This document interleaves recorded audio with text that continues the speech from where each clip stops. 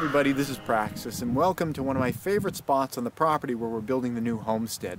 The new homestead site is just up in this direction over here and it's just a short walk down here to where the stream comes through, river's back behind you, playing in the little stream over here and it's just a really nice peaceful spot.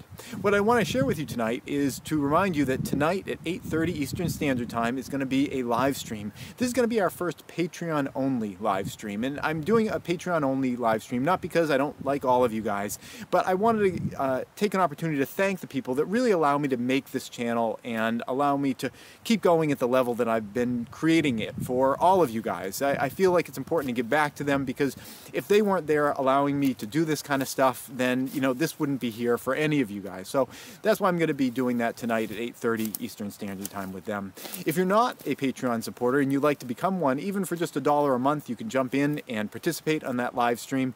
And the benefit of that is just you know there's fewer people, there's fewer questions, so I'll, you know, there's a higher chance that I'll be able to get to everybody's, uh, you know, questions that they may have about homestead building, building, retreat building, you know, all this kind of stuff. And really, it's just kind of open to any topics. Also, uh, in the, on the Patreon side, we also talk about other things about kind of nat steering the series, you know, I, you know, brainstorming ideas about the series and things like that. People kind of participating on the backside as well.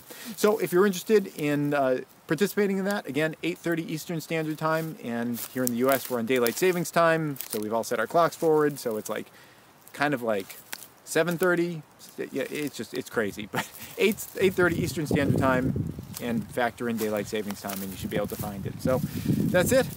Hope to see you there tonight if you're interested in checking it out, and thanks for watching.